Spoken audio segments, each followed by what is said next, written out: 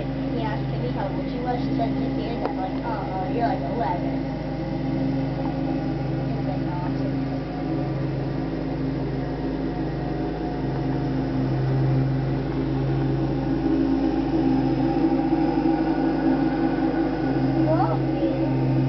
What?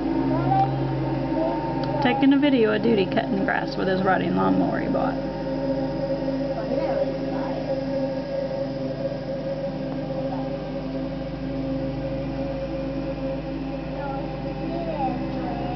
Okay, season passes with the discount is fifty-three dollars.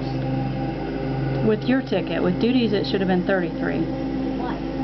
Because they had a day pass, like they had paid full price. You got in free. I did. Yeah. Yeah, well, I want to get it. Next time we go to Dollywood, I'm gonna bring fifty-three dollars. You don't need $53. You need 33 Okay, I'll bring thirty-three. I want to But the next time you're going with a Kid Fest coupon, Well, you know the coupons that we got that one day? What if I brought that in? we're going to sometime. But today we used those other ones. You can go to Dollywood three times this year with two free passes and your yellow pass. You only went once today.